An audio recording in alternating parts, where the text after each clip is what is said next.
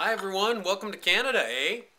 Uh, this is my first video post uh, for this new YouTube channel and for my Facebook page, Eric Salazar Pro Golfer.